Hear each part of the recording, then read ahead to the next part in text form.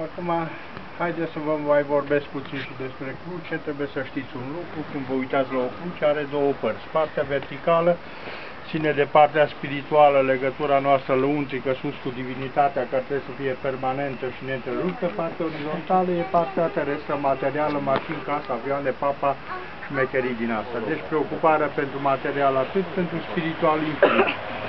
Acum, ce înseamnă spiritual, așa într-o înțelegere mai voi când sunteți liberi, așa, seara, vă retrageți, când stați de vorbă cu voi, vedeți ce ați făcut peste zi, pe, să vă uitați un pic mai cu atenție în voi, înăuntru, să vedeți ce daruri deosebite a pus Bunul Dumnezeu, ca să puteți scoate câte unul de acolo, să-l sublimați în lucruri deosebite, de care să le bucure părinții, profesorii, brasovenii, români, în definitiv. Dar ce faceți dacă nu găsiți darurile respective?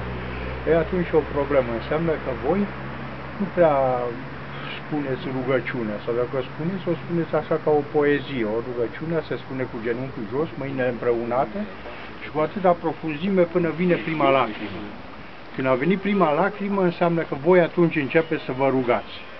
Dacă veți continua să vă rugați la modul ăsta, profund, veți afla răspunsul la întrebarea care e rostul meu în viață, ce trebuie să fac, ce facultate urmează să fac, nu să faceți trei facultăți, să lucrați, lucrați în complet un alt domeniu, veți ști mai multe, pentru că veți, veți fi mai profund. Dacă veți reuși, desigur, odată cu rugăciunea, să vă ridicați pe verticala asta spre spiritual, spre infinit, spre necuprins, sigur că atunci vă veți ridica deasupra la toți care mergem în stânga, în dreapta, ne facem că facem ce noi Hai că v-am plictit.